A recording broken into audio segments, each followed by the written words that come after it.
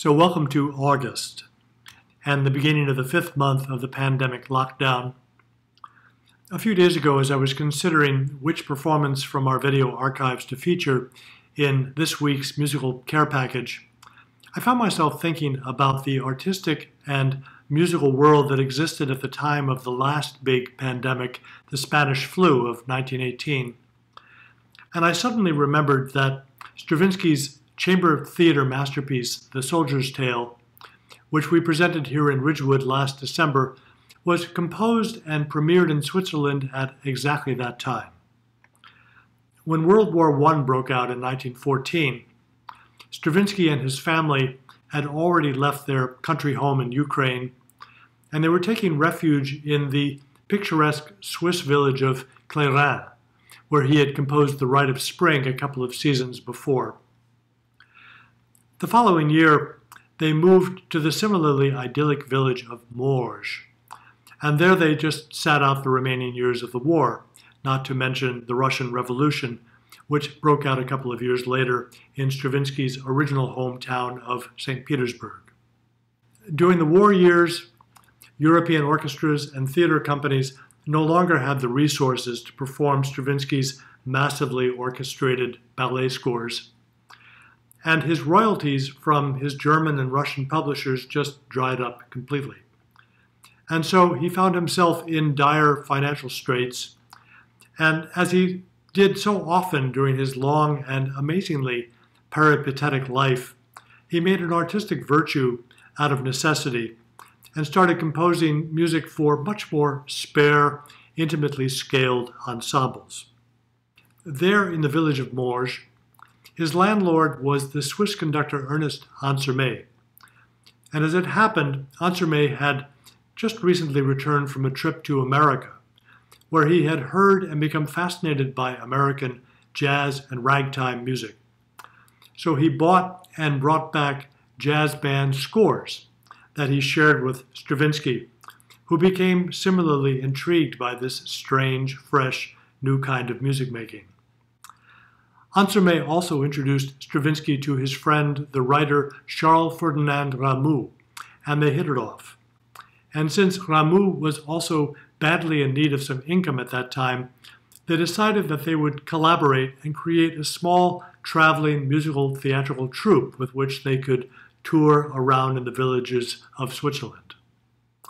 So Stravinsky introduced Ramuz to a book of old Russian folk tales, and they selected and transformed one of the stories into Histoire du Soldat, the soldier's tale, which they set for narrator, two actors, a dancer, and a seven piece mixed ensemble of winds and strings and percussion that Stravinsky modeled after the jazz band music that Ansermet had brought back with him from America.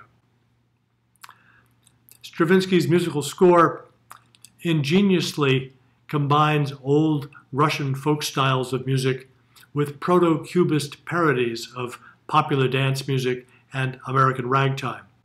And Ramuz's story is a variation on the old Faust legend.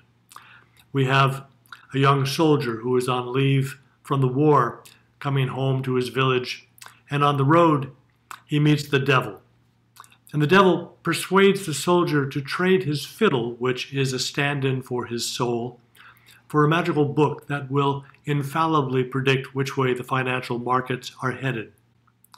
So they make the trade. And as the ultimate in insider traders, the soldier becomes more and more financially wealthy as he becomes more and more spiritually impoverished. Finally, feeling completely depressed, he decides to trick the devil into playing him in a game of cards where he can deliberately lose back all of his ill gotten gains. And this causes the devil to collapse. The soldier then reclaims his fiddle, marries a beautiful princess, and prepares to live happily ever after. But the devil suddenly wakes up and warns him that if he ever attempts to reclaim his former life by crossing the border back into his old village, that he will lose everything. And as so often happens in these kinds of fairy tales, his bride persuades him that it will be okay if he goes back just one time to fetch his aging mother because then he will really have everything. And so he goes. And as he nears the outskirts of his old village, the devil is lying in wait. And the instant that he steps over the border, the devil rises up, reclaims his fiddle soul, and marches him off to hell. The moral, of course, is be happy with what you've got. Don't be greedy. Don't try to have it all.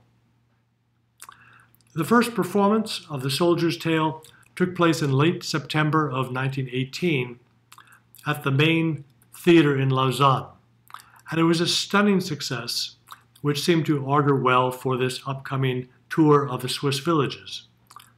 But then the Spanish flu swept into Switzerland like the devil himself, taking down most of the cast and the musicians, and the rest of the tour had to be canceled and the next performance did not take place for several years after that.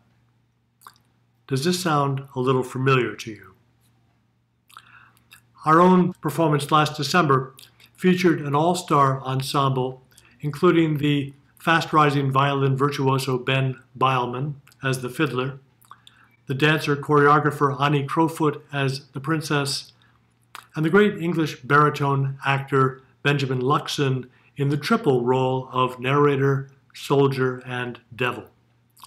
His performance was a brilliant tour de force, and I hope you will enjoy watching this exhilarating performance in this week's musical care package.